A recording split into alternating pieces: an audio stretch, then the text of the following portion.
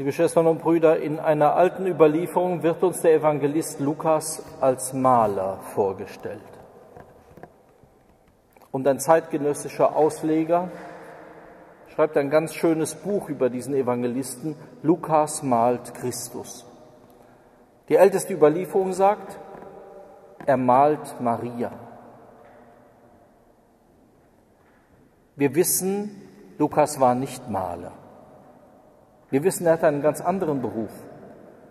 Er war Arzt aus Antiochia, jener Stadt, wo man die Christen zum ersten Mal eben Christen nannte. Gestern noch haben wir Ignatius von Antiochien gefeiert. Wie kommt es zu, diesem, zu dieser Zuschreibung, dass dieser Evangelist ein Maler ist? Es hängt mit seiner Zuordnung zur Schönheit zusammen. Und wir können das ganz leicht verstehen. Schönheit nicht in einem Sinn, wie wir sie heute verstehen, von oberflächlich Hübschem, sondern tiefer Schönheit, die immer hinweist auf das Göttliche. Wir müssen nur einmal denken, wenn es das Lukasevangelium nicht gäbe, wie würden wir Weihnachten feiern? Was wäre der Höhepunkt unseres Betens, des Betens der Kirche? Seit anderthalb Jahrtausenden, am Morgen, am Abend, in der Nacht, wenn wir nicht auf die Evangelien dieser Horen zusteuerten, im Benediktus, im Magnificat, im Nunc Dimittis. Was wäre auch ein heiliges Jahr der Barmherzigkeit, wenn es nicht diese großartigen Gleichnisse aus seiner Feder gäbe, die er uns bewahrt hat? Der barmherzige Vater, der barmherzige Samariter, der arme Lazarus im Schoß Abrahams.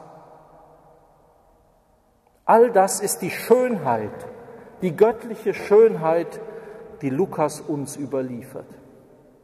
Und von daher muss es uns überhaupt nicht wundern, dass seit ungefähr 100 Jahren dieser Evangelist nicht beliebt ist. Man kann sich kaum vorstellen, was man gegen diesen Lukas geschrieben hat. Ich will es gar nicht ausbreiten, weil ich möchte mich nicht zum Diener des Hässlichen machen. Es ist kein Wunder, dass genau die Gegenseite des Schönen und des Göttlichen gegen diese Schönheit ansteht und kämpft. Wir hören es in der Lesung schon.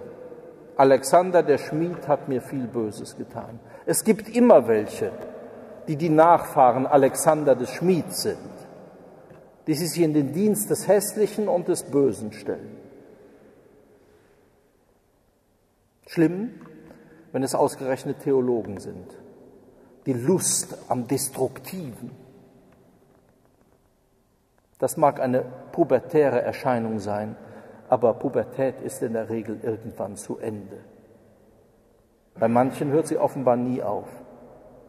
Diese Lust am Hässlichen, am Zerstörerischen, am Chaotischen, das ist Lukas keineswegs fremd. Ein Arzt in der damaligen Zeit wird viel gesehen haben, was wir uns heute kaum vorstellen können. Aber genau aus dieser Quelle heraus ist er auf der Suche nach Heilung. Heilung für die Verletzten auch seiner Zeit, Heilung für die ganze Welt.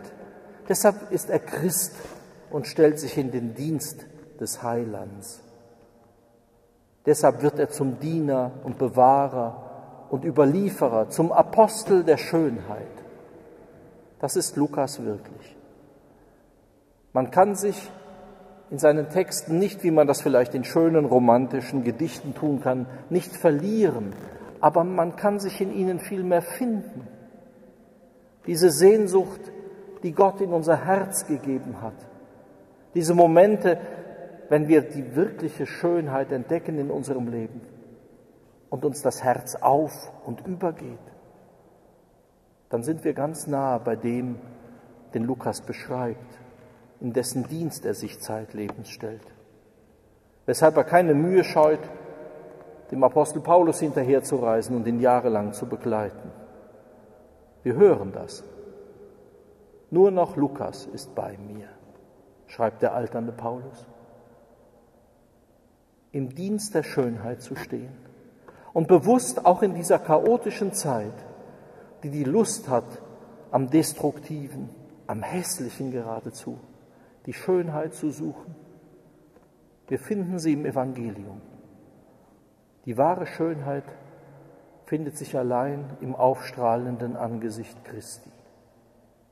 Ihn sollen wir suchen, ihn als Punkt vor Augen haben, damit wir niemals, und Lukas hilft uns dabei, die Orientierung verlieren.